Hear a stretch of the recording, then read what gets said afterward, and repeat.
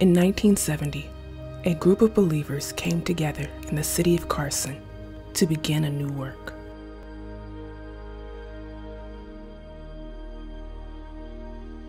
Through faith, a foundation was created with enough strength to carry generations.